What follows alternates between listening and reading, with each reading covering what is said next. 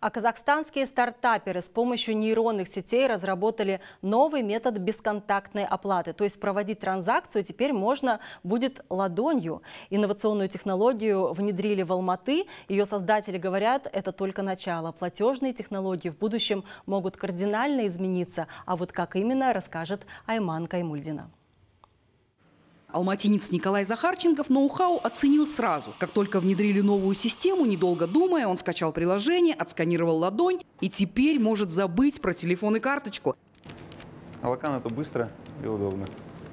Вот именно поэтому я им пользуюсь, собственно. Разрабатывали систему отечественные программисты, проводили исследования в области биометрии различных частей тела, а именно лица и пальцев. В итоге пришли к выводу, что распознавание по ладони самый информативный и точный метод. На разработку ушло три года. Протестировали его впервые на СКУТ, системе контроля и управления доступом. С тех пор в базе данных накопилось больше 100 тысяч пользователей, а это 200 тысяч ладоней. А теперь запустили высокотехнологичные устройства на автономных кассах. Данная система является полностью казахстанской. В 2022 году мы разработали очень крупный проект. Это экосистема для школ.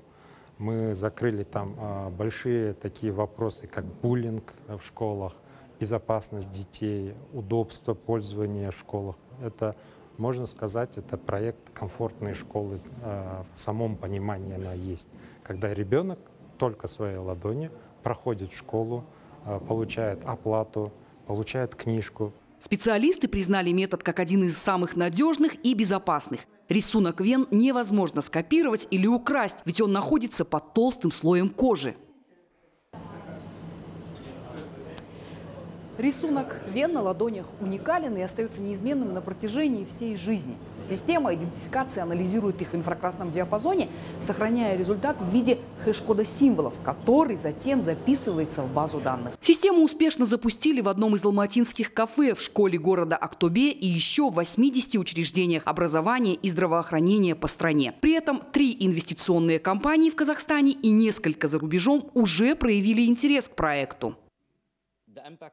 Мы заинтересованы в развитии таких продуктов. Если говорить о цифрах, объем рынка посттерминалов в Казахстане составил почти 26 триллионов тенге. И мы видим, что технология приема платежей с использованием биометрии может развиваться и достичь 30% рынка к концу 2026 года. В связи с этим мы заинтересованы в инвестициях в данный стартап и будем его развивать в странах персидского мира.